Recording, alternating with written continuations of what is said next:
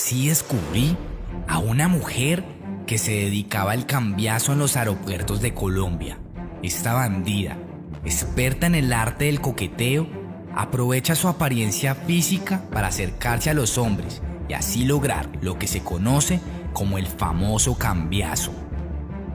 Esta diabla ya tenía como objetivo a don Antonio, un hombre de 49 años de edad, viajero frecuente desde el Aeropuerto Internacional de Pereira. Esta mujer espera pacientemente a su mula, pues conoce cada movimiento de su víctima con exactitud, esperando a que su mula se ubique en un lugar cómodo para ella. Este hombre no sabe que tiene una bruja cerca, esperando hacer su mejor truco de hechicería, convirtiéndolo en su próxima mula. La mujer se le acerca con la intención de ganarse su confianza. Antonio, como un todo un hombre caballeroso, se presenta y acepta brindarle la ayuda a esta bandida. Luego de unos minutos, Antonio cae en la tentación e invita a tomar un café a la mujer en la que a partir de ahora se convertirá en su peor pesadilla.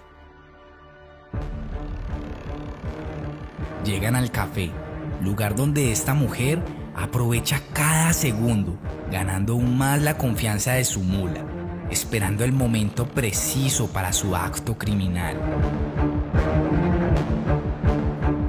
Es tan bueno el trabajo de esta bandida que Antonio se dirige hacia el baño, abandonando su maleta por completo.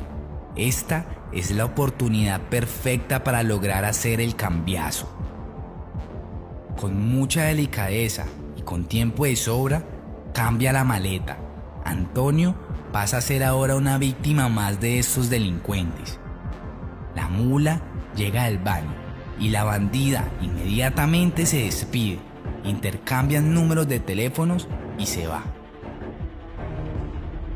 Esta mujer demuestra una vez más la importancia de estar pendiente a todo, de no dejarse llevar por un cuerpo bonito, porque en muchos casos te llevan a la perdición. Antonio Inocente entrega la maleta a la aerolínea sin saber que en esa maleta lleva más de 5 kilogramos de una sustancia prohibida de color blanco.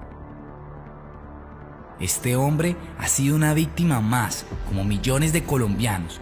Por eso, cuando esté en un aeropuerto, nunca pierda de vista su equipaje.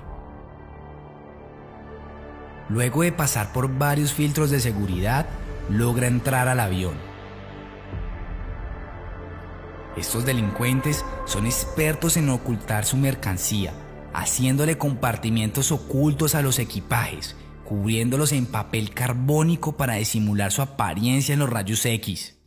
Luego de un vuelo corto, Antonio llega a su destino, el Aeropuerto Internacional El Dorado, uno de los aeropuertos con los filtros de seguridad más grandes de Latinoamérica. Hoy, este hombre está de suerte. Su equipaje llegó como si nada. Hey, mi hermano, hermano, manito, ¿qué más? ¿Cómo está? ¿Bien o no? Mucho gusto, hermano, Juan Rodríguez. Ve, hermano, lo que pasa es que yo tengo algo muy importante para decir. ¿Esta maleta es suya? Sí. esa es su maleta. ¿Está seguro? ¿Está seguro que es su maleta? Sí, pasa algo malo. No, hermano, lo que pasa es que yo tengo algo muy importante que decirle a mi vieja. Lo que pasa es que yo, yo sé que esta maleta no es suya, mi vieja. Ahora vengo desde Pereira con mi maleta. Sí, mi viejo, pero yo tengo algo muy importante para decirle. A ver si usted me puede hacer el favor de acompañarme a la salida. Yo le explico por qué yo sé que esa no es su maleta, hermano. ¿Usted me puede acompañar un momentico a la salida? Parce, mire, esto está lleno de cámaras de seguridad. Yo no tengo ningún problema en demostrarle a usted que está en mi maleta. Entonces me acompaña a la salida, yo le muestro algo. Vamos, pero es mi maleta. Listo, hágale pues. Venga pues para acá, hermano. ¿Hace cuánto compró usted esa maleta? No, ya hace días yo viajo con ella. A mí me toca viajar mucho, Pereira a Bogotá, a veces hasta dos veces en la semana. No tengo ningún inconveniente, no. No, No entiendo qué le pasa, pero esta es mi maleta. ¿no? Listo, listo, ya le voy a demostrar que no es. Venga para acá, venga para acá, mi vieja. Venga. Vamos a hacernos allí. Acompáñeme a la salida allí.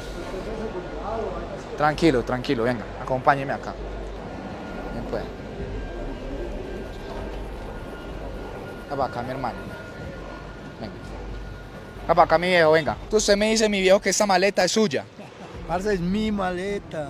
Claro, es mi maleta. Acá dice su nombre y todo, ¿cierto? Claro. Usted fue el que le hizo el cheque. Sí, claro, es mi maleta. Todo para decirle, mi viejo, que usted tiene que estar más pendiente, tiene que estar más alerta de las personas que se le acercan a usted, que se le acercan a pedirle una dirección, a preguntar por cualquier cosa. Tiene que estar pendiente, hermano. Tiene que estar más pilas en los aeropuertos, en los buses, en cualquier parte, pa. Así sea en la esquina de su casa, tiene que estar pendiente de quién es la persona que se le acerca, mi viejo. Yo le voy a decir una cosa, venga. Yo le voy a decir una cosa, mi viejo, venga. Venga, venga, venga, venga, venga, venga. Yo le voy a decir una cosa. Haga un favor. Ahora la maleta, mi viejo. Ahora la maleta. Ahora la maleta, mi viejo.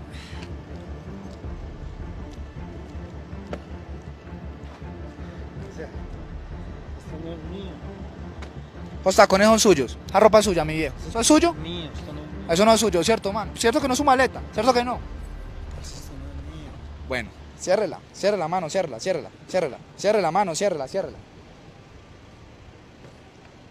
Ah, yo le explico una cosa a mi viejo. Ah, yo le digo algo, viejo, venga, venga. Déjeme decirle que además de eso, mi parcero, usted hoy es una de las personas más afortunadas del mundo. Si me acaban de robar. Espere, es que lo que usted le hicieron no fue un robo. Mire, usted está acá hoy en Bogotá, de milagro, mi hermano. Usted está hoy acá en Bogotá, de milagro, mi hermano.